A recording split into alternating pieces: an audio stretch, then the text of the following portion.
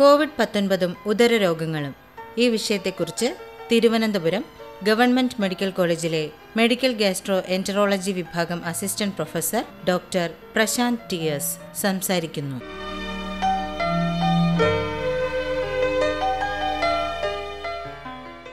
Covid virus നിങ്ങൾക്ക് എല്ലാവർക്കും അറിയാം. ചൈനയിലെ വുഹാനിൽ ആണ് ആദ്യം റിപ്പോർട്ട് ചെയ്യപ്പെട്ടത്. അതിനുശേഷം നമ്മൾ ലോകത്തുള്ള എല്ലാ രാജ്യങ്ങളിലേക്കും കോവിഡ് എത്തി. ഞാൻ ആക്ച്വലി ഇതിനെ നാലായിട്ട് തരം തിരിച്ചിരിക്കുന്നു ഈ കോവിഡും ഉദരരോഗങ്ങളും എന്ന ടോപ്പിക്കിന് ഫസ്റ്റ് പറയാനുള്ളത് കോവിഡ് രോഗാവസ്ഥയിൽ ഉണ്ടാവുന്ന ഉദര സംബന്ധമായ ബുദ്ധിമുട്ട്. അതാണ് ആദ്യമായിട്ട് നമ്മൾ ഡിസ്കസ് ചെയ്യാൻ പോകുന്നത്. അതിൽ വരുന്നതെന്ന് വെച്ച് കഴിഞ്ഞാൽ നമുക്ക് എല്ലാവർക്കും അറിയാം പ്രധാനപ്പെട്ട രോഗലക്ഷണങ്ങൾ പനി തൊണ്ടവേദന ചുമ ക്ഷീണം മസിൽ വേദന ശ്വാസതടസ്സം ഇതൊക്കെയാണ്. എന്നാൽ ഇതിന്റെ കൂടെ തന്നെ ഉദര സംബന്ധമായ ചില ലക്ഷണങ്ങളും ഉണ്ടാവും. അതായത് നമ്മൾ ആമാശയം കൂടുതലും വരുന്ന വിഷയങ്ങളുണ്ടാവും. അതിൽ പ്രധാനപ്പെട്ടതാണ് വിശപ്പില്ലായ്മ ഓർക്കാനം ഛർദിൽ വയറിളക്കം വയറുവേദന ചിലർക്ക് നെഞ്ചരിച്ചിൽ അങ്ങനത്തെ ബുദ്ധിമുട്ടിലേക്കും കൂടുതലായിട്ട് ഉണ്ടാകുന്നു ഇത് ഒരു ഇരുപത് മുതൽ മുപ്പത് നാൽപ്പത് ശതമാനം വരെ രോഗികൾ ഈ ലക്ഷണങ്ങൾ കണ്ടുവരുന്നു. വേറെ പ്രത്യേകത എന്ന് വെച്ച് കഴിഞ്ഞാൽ ഈ ലക്ഷണങ്ങൾ ആദ്യം ഇതായിരിക്കും തുടങ്ങുന്നത്. അതിനുശേഷം ഒരു നാലോ അഞ്ചോ ദിവസം കഴിഞ്ഞിട്ടായിരിക്കും അവർക്ക് ഈ ചുമയോ ശ്വാസകോശ സംബന്ധമായ ബുദ്ധിമുട്ടുകൾ ഇവർക്ക് ഉണ്ടാവുന്നത് ഒരു നാല് മുതൽ അഞ്ച് ശതമാനം രോഗികളിൽ അവർക്ക് ഈ ചുമയോ ശ്വാസമുട്ടോ ഒന്നും ആയിരിക്കില്ല വരുന്നത് ബുദ്ധിമുട്ടുകൾ. ഈ ഉദര സംബന്ധമായി ഇപ്പൊ ഞാൻ പറഞ്ഞ ലക്ഷണങ്ങൾ മാത്രമേ അവർക്ക് ഉണ്ടാവുള്ളൂ. വേറെ പ്രത്യേകിച്ച് ബുദ്ധിമുട്ടുകളൊന്നും ഉണ്ടാവില്ല. പിന്നെ വേറെ പ്രധാനപ്പെട്ട ഇതെന്ന് പറഞ്ഞു കഴിഞ്ഞാൽ നാൽപ്പത് മുതൽ അമ്പത് ശതമാനം ആളുകളിൽ രുചിയില്ലായ്മ അല്ലെങ്കിൽ മണമില്ലായ്മയാണ് അവർക്ക് അനുഭവപ്പെടുന്നത്. ഇനി നമുക്ക് കരളിൽ എന്തൊക്കെ സംഭവിച്ചെന്നുള്ളതിലേക്ക് വരാം. ഏകദേശം പതിനഞ്ച് മുതൽ ഇരുപത് ശതമാനം രോഗികളിൽ ചെറിയ തോതിലെങ്കിലും ഈ കരളിന്റെ പ്രവർത്തനം നോക്കുമ്പോൾ അതായത് നമ്മൾ ലിവർ ഫംഗ്ഷൻ ടെസ്റ്റ് എന്ന് പറയും. അത് നോക്കുമ്പോൾ അതിനകത്ത് ചെറിയ variations liver enzyme S G O T S G P T എന്ന് പറയും. അതിനകത്ത് ചെറിയ വേരിയേഷൻസ് കാണും. പതിനഞ്ച് മുതൽ ഇരുപത് ശതമാനം ആൾക്കാർ പിന്നെ നമ്മൾ ഈ കോവിഡ് വരുമ്പോഴത്തേക്ക് നമ്മൾ ചില മരുന്നുകൾ കഴിക്കും.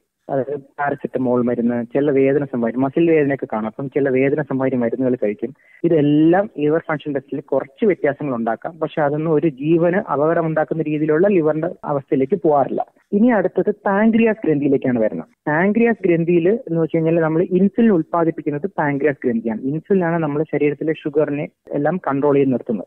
ചില രോഗികളിൽ കോവിഡ് കാരണം ഈ ഇൻസുലിൻ ഉണ്ടാക്കുന്ന സെല്ലുകൾ അതായത് കോശങ്ങൾക്ക് കേട് സംഭവിക്കുന്നു. അതിന്റെ ഭാഗമായി പുതിയതായി കുറെ പേർക്ക് ചെറുപ്പക്കാരിലും പ്രമേയ രോഗം കണ്ടുവരുന്നു. കൂടാതെ തന്നെ നേരത്തെ പ്രമേയ രോഗമുള്ള ആൾക്കാരിൽ ഈ പ്രമേയ രോഗം മൂർച്ഛിക്കാനും കോവിഡ് ഇടയാക്കുന്നു. നമ്മൾ ടോപ്പിൽ രണ്ടാമതായി ഡിവൈഡ് ചെയ്തിലേക്ക് വരുന്നു. അതായത് ഉദര രോഗങ്ങൾ ഉള്ളവർക്ക് കോഡ് വന്നാൽ എന്തൊക്കെ സംഭവിക്കാം? എന്തൊക്കെ പ്രത്യേകത ഉള്ളവർക്കുണ്ടാവും ആമാശയ രോഗങ്ങളിലേക്ക് ആദ്യം വരാം. ഈ നെഞ്ചരിച്ചിൽ അസിഡിറ്റി ഗ്യാസ് ട്രബിൾ വയറ് വീർപ്പ് ദഹനക്കുറവ് തുടങ്ങിയ ബുദ്ധിമുട്ടിൽ ഉള്ളവർക്ക് ഈ കോവിഡ് വന്നു കഴിഞ്ഞാൽ ഈ പറഞ്ഞ ലക്ഷണങ്ങളെല്ലാം കൂടും. അതാണ് യൂഷ്വലി കണ്ടുവരുന്നത് ഈ ബുദ്ധിമുട്ടിലെല്ലാം അവർക്ക് കൂടും. ഇത് കുറച്ച് സമയം എടുത്തിട്ട് മാത്രമായിരിക്കും അതെല്ലാം പഴയപടിയായി മാറുന്നത്. പിന്നെ അടുത്ത് നമുക്ക് കരൾ രോഗത്തിലേക്ക് വരാം. കരൾ രോഗത്തിൽ ആദ്യം നമ്മൾ കോമൺ ആയിട്ട് പറയേണ്ടത് സിറോസിസ് രോഗമാണ്. അതായത് സിറോസ് രോഗം എല്ലാവർക്കും അറിയാം. കരൾ ചുരുങ്ങി പോകുന്ന ഒരു അസുഖമാണ് സിറോസിസ് രോഗം. ഈ രോഗം ബാധിച്ചവരിൽ കോവിഡ് വരാനുള്ള സാധ്യതയും കൂടുതലാണ് പക്ഷെ അവർക്ക് വന്നാലോ വന്നു കഴിഞ്ഞാൽ രോഗം സിവിയർ അതായത് സിവിയർ ആയി അല്ലെങ്കിൽ തീവ്രത കൂടിയിട്ട് അവർക്ക് പെട്ടെന്ന് തന്നെ ലിവറിന്റെ അസുഖം മോശമായി മരണം വരെ സംഭവിക്കാനുള്ള സാധ്യതയുണ്ട്. പിന്നെ അടുത്ത കരളുടെ രോഗങ്ങളിൽ പറയാനുള്ളത് എന്നാണ് ഹെപ്പറ്റൈറ്റിസ് ബി. ഹെപ്പറ്റൈറ്റിസ് ബി എന്ന് വെച്ചാൽ വൈറസ് ഉണ്ടാക്കുന്ന ലിവറിന്റെ അസുഖമാണ്. ഇതിൽ എന്താ പറ്റുന്നത് വെച്ച് കഴിഞ്ഞാൽ ഈ ഹെപ്പറ്റൈറ്റിസ് ബി അസുഖമുള്ള ആ വ്യക്തികൾക്ക് കോവിഡ് വന്നു കഴിഞ്ഞ് അവർക്ക് കോവിഡ് മാരകമായ അവസ്ഥയിലേക്ക് പോവുകയാണെങ്കിൽ അവർക്ക് ചില സ്റ്റീറോയിഡ് മരുന്നുകൾ വേണ്ടി വന്നേക്കാം. ഐ സിയുയിൽ ഓക്സിജൻ അല്ലെങ്കിൽ വെന്റിലേറ്റർ വെച്ച് കിടക്കുന്ന രോഗികൾക്ക് സ്റ്റീറോയിഡ് മരുന്ന് വേണ്ടി വന്നേക്കാം. ആ സ്റ്റീറോയിഡ് മരുന്ന് നൽകുമ്പോൾ ഇവരുടെ ശരീരത്തിൽ കിടക്കുന്ന ഹെപ്പറ്റൈറ്റിസ് ബി വൈറസിന്റെ അസുഖം തീവ്രമാവാനുള്ള സാധ്യതയുണ്ട്. അത് കാരണം അവർക്ക് ചിലപ്പോൾ ഹെപ്പറ്റൈറ്റിസ് ബി മോശമായിട്ട് വേറെ വേറെ മാരകമായ അവസ്ഥയിലേക്ക് വരെ പോകാൻ സാധ്യതയുണ്ട്. ഇനി അടുത്തത് വരുന്നതാണ് കരൾ മാറ്റ ശസ്ത്രക്രിയ കഴിഞ്ഞ രോഗികൾ. ഇതിലെന്താ സംഭവിക്കുന്നത് വെച്ച് കഴിഞ്ഞാൽ പുതിയ പഠനങ്ങൾ സൂചിപ്പിക്കുന്നത് എന്ന് പറഞ്ഞാൽ കരൾമാറ്റ ശസ്ത്രക്രിയ കഴിഞ്ഞ രോഗികളിൽ ഈ കോവിഡിന്റെ തീവ്രതയോ കോവിഡ് വരാനുള്ള സാധ്യതയോ എല്ലാം സാധാരണയുള്ള ജനവിഭാഗത്തിലുള്ളത് പോലെ തന്നെയാണ് എന്നുള്ളതാണ് പഠനങ്ങൾ സൂചിപ്പിക്കുന്നത്. പക്ഷേ ഈ കരൾമാറ്റ ശസ്ത്രക്രിയ കഴിഞ്ഞ രോഗികൾക്ക് അവർ കഴിച്ചിരിക്കുന്ന ചില മരുന്നുകൾ ക്രമപ്പെടുത്തേണ്ടതായിട്ട് വരും ഡോക്ടറുടെ നിർദ്ദേശപ്രകാരം. അല്ലാതെ അവരുടെ ബാക്കിയെല്ലാം സാധാരണ ജനത്തിനെ പോലെ തന്നെയാണ് എന്നുള്ളതാണ് പഠനങ്ങൾ സൂചിപ്പിക്കുന്നത്. കുറെ കാലമായിട്ട് പാങ്ക്രിയാസിനുള്ള അസുഖമുള്ള ആൾ അതല്ലെങ്കിൽ ക്രോണിക് പാങ്ക്രറ്റൈറ്റിസ് എന്ന് പറയും. ഈ അസുഖമുള്ളവർക്ക് രോഗസാധ്യത കോവിഡ് വരാനുള്ള സാധ്യത കൂടുതലാണ് എന്നുള്ളത് മാത്രമേ ഉള്ളൂ. ഇനി അടുത്തത് കുടൽ രോഗങ്ങൾ. കുടൽ രോഗങ്ങൾ നമ്മൾ പ്രധാനമായിട്ടും പറയുന്നത് ഇൻഫ്ലമേറ്ററി ബവൽ ഡിസീസ് എന്ന് പറയും. അതായത് കുടലിന്റെ നീരും അൾസറും ബ്ലീഡിംഗ് ഉണ്ടാക്കുന്ന രോഗങ്ങളാണ്. അൾസറേറ്റീവ് കൊളൈറ്റിസ് ക്രോൺസ് ഡിസീസ് എന്ന് പറഞ്ഞ അസുഖങ്ങളാണ്. ഇതിനകത്ത് ഞാൻ നേരത്തെ പറഞ്ഞ പോലെ തന്നെ ഈ അസുഖമുള്ളവർക്ക് കോവിഡ് വരാനുള്ള സാധ്യതയും വന്നു കഴിഞ്ഞാൽ കോവിഡിന്റെ അസുഖം മൂർച്ഛിക്കാനുള്ള സാധ്യത കൂടുതലാണ് ഇവർക്ക്. ഇവരും കഴിച്ചുകൊണ്ടിരുന്ന ചില മരുന്നുകൾ ഡോക്ടറുടെ നിർദ്ദേശപ്രകാരം കുറച്ച് വ്യത്യാസം വരുത്തേണ്ടിയിരിക്കുന്നു. കോവിഡിന് വേണ്ടിയിട്ട് കഴിച്ച മരുന്നുകളല്ല ഈ കുടലിന്റെ അസുഖത്തിന് വേണ്ടി കഴിച്ചുകൊണ്ടിരിക്കുന്ന മരുന്നുകളിൽ ചില വ്യത്യാസങ്ങൾ വരുത്തേണ്ടി വരും. അത് ഡോക്ടറുടെ നിർദ്ദേശപ്രകാരം മാറ്റാവുന്നതാണ്. അടുത്തതായി നമ്മൾ സംസാരിക്കാൻ പോകുന്ന കോവിഡാനന്തര ഉദരരോഗങ്ങൾ. ഉദരോഗങ്ങൾ നമ്മളിപ്പം കോവിഡ് വന്നു പോയി കഴിഞ്ഞിട്ട് ചിലർക്ക് ഒരു മൂന്ന് മാസം കഴിഞ്ഞിട്ടും ഈ ചില ബുദ്ധിമുട്ടുകൾ തുടരും. അതിനെയാണ് നമ്മൾ പോസ്റ്റ് കോവിഡ് അല്ലെങ്കിൽ ലോങ് കോവിഡ് സിൻഡ്രോം എന്ന് പറയുന്നത്. ചില വ്യക്തികളിൽ മൂന്ന് മാസം മുതൽ ആറു മാസം വരെയോ ചിലർക്ക് ഒരു വർഷത്തിൽ കൂടുതലോ കഴിഞ്ഞിട്ടും ഈ നേരത്തെ ഉണ്ടായ ബുദ്ധിമുട്ടുകൾ നീണ്ടു നിൽക്കും. അതാണ് ഈ ലോങ് കോവിഡ് സിൻഡ്രോമിൽ ഉള്ളൊരു പ്രത്യേകത. ഇതിൽ പ്രധാന ലക്ഷണങ്ങൾ വിശപ്പില്ലായ്മ നെഞ്ചെരിച്ചിൽ ഓർക്കാനും ഛർദിൽ വയറിളക്കം പുളിച്ചു തകട്ടൽ ഇതെല്ലാം ചിലപ്പോൾ നീണ്ടു നിന്നേക്കാം. പിന്നീടുള്ളത് രുചിയും മണവും നേരത്തെ പോകുന്ന ഞാൻ പറഞ്ഞിരുന്നു. അത് രുചിയും മണവും ചിലർക്ക് അപൂർവമായിട്ട് മൂന്നോ ആറോ മാസം കഴിഞ്ഞാലും ചിലപ്പോൾ രുചിയും മണവും തിരിച്ചു കിട്ടിയെന്നിരിക്കില്ല. വളരെ അപൂർവമായിട്ടുള്ള ചില രോഗികളിൽ അങ്ങനെ കണ്ടുവരുന്നുണ്ട്.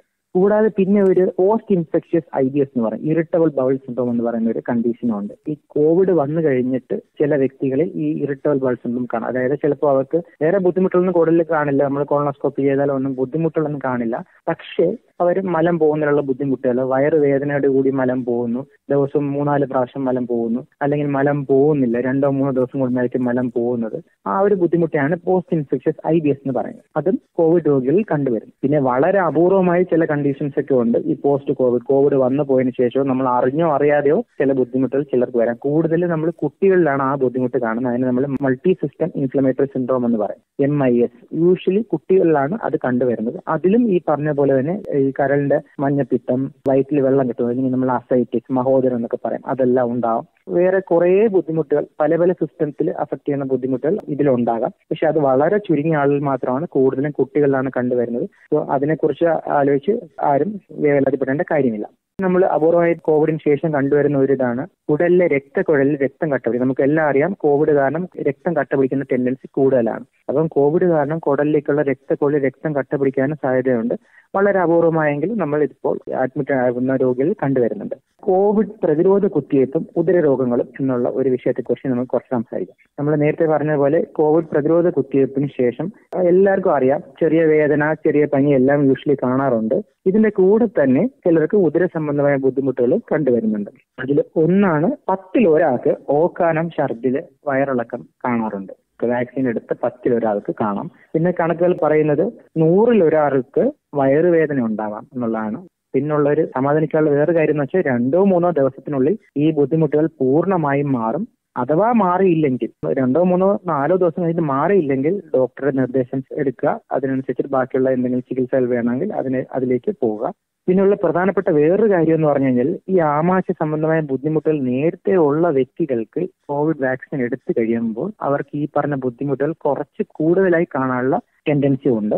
എന്നാലും ഒരു മൂന്നോ നാല് ദിവസത്തിനുള്ളിൽ അവരുടെ ബുദ്ധിമുട്ടുകൾ കുറഞ്ഞ് പഴയപടി തന്നെ ആവും. അതുകൊണ്ട് അതിനെക്കുറിച്ച് പേടിക്കേണ്ട കാര്യമില്ല.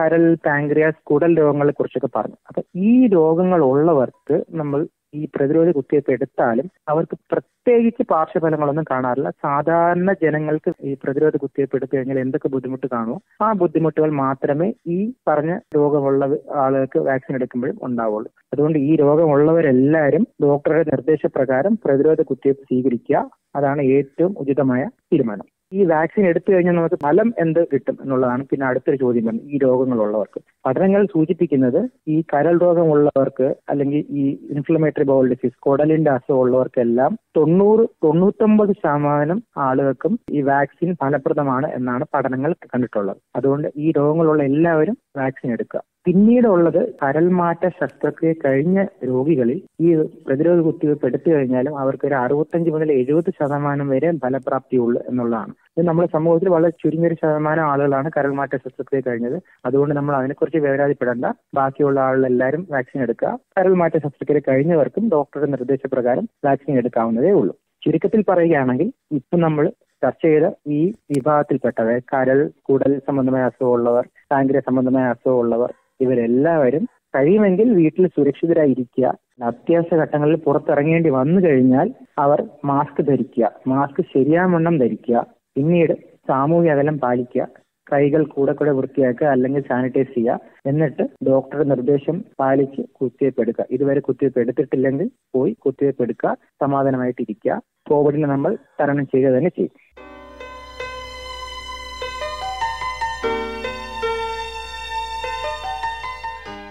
കോവിഡ് പത്തൊൻപതും ഉദരരോഗങ്ങളും. ഈ വിഷയത്തെക്കുറിച്ച് ഇതുവരെ സംസാരിച്ചത് തിരുവനന്തപുരം ഗവൺമെന്റ് മെഡിക്കൽ കോളേജിലെ മെഡിക്കൽ ഗാസ്ട്രോ എൻട്രോളജി വിഭാഗം assistant professor doctor Prashanth T S.